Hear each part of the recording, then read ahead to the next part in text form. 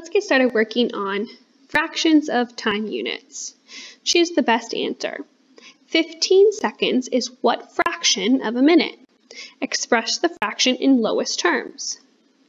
So we are comparing here 15 seconds with minutes.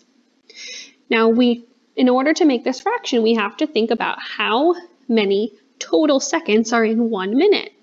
We know there are 60 seconds in one minute. So we know fractions are part over whole. So we're going to have 15 over a total of 60. Now we need to remember to do it in lowest terms. We need to simplify this fraction. So my first instinct is to divide them both by 5 because I know that 15 and both 60 can be divided by 5. So go ahead and do that. Divide by 5. 15 divided by 5 is 3, and 60 divided by 5 is 12. Hmm, doesn't seem like we simplified it all the way, since that's not one of our choices. I know that 3 and 12 can both be divided by 3. So we can divide both the, the numerator and the denominator by 3 to get 1 fourth. So 15 seconds is 1 fourth of a minute.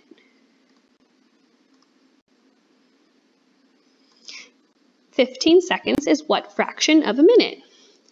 Fifteen seconds a minute is 60 seconds, so our part over whole will be 15 over 60.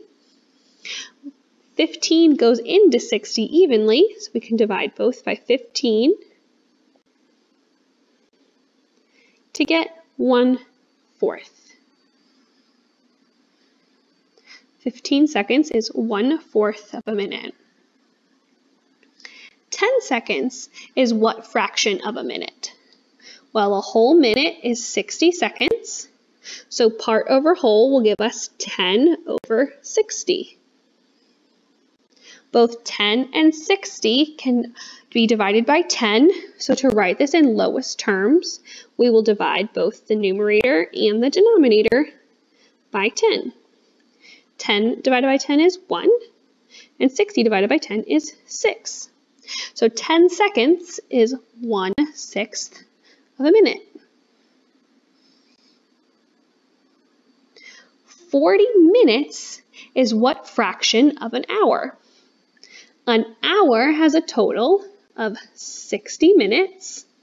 So the part of our fraction, the numerator, is 40, and the denominator is 60. 40 and 60 can both be divided by 20. So we're going to divide both by 20 to write it in lowest terms. We're going to get 2 over 3. So 40 minutes is 2 thirds of an hour.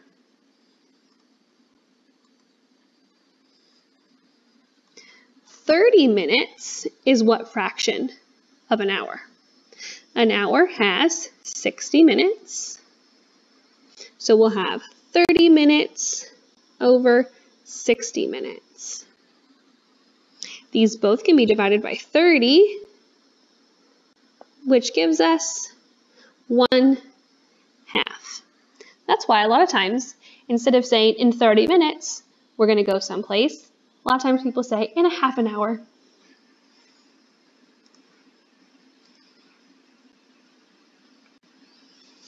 How many seconds are in 3 fourths of a minute? Well, there are 60 seconds in one minute. So that means that we know that the denominator is 60. And we want to know 3 fourths of that. So what we can do is first divide 60 by 4 and then see how many 3 of those are. So we'll do 60 divided by 4. And we will get 15. So if 1 fourth is equal to 15 minutes, all we have to do is multiply by 3 in order to get 3 fourths. 15 times 3 equals 45. So 45 over 60 is the same thing as 3 fourths.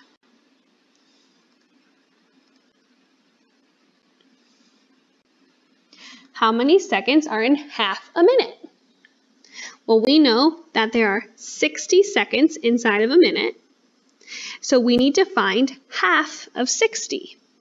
When you find half of something, that's the same thing as dividing by 2. So we're going to do 60 divided by 2.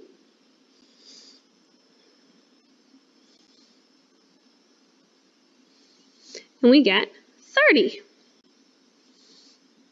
So 30 seconds are in half a minute. How many minutes are in one sixth of an hour? Well, there are 60 total minutes in an hour, so we need to do 60 divided by 6 to figure out how much is in one sixth.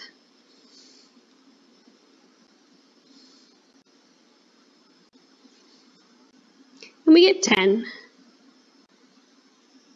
There are 10 minutes in 166th of an hour. How many minutes are in 5 sixths of an hour? So again, we know there are 60 minutes in an hour. And first we figure out how much it is to be 1 sixth, and then we'll multiply that by 5. 60 divided by 6 is 10. And then we will multiply that 10 by 5 since we have 5 of those sixes, sixths. So it is 50 minutes. How many years are in 9 tenths of a century? Well, there are 100 years in a century. I got that clue because a cent. Cent usually means 100. So first we need to figure out how many years are in one tenth of a century. We do that by dividing 100 by 10, which is equal to 10. And then we can multiply our answer for the one-tenth of a century times 9.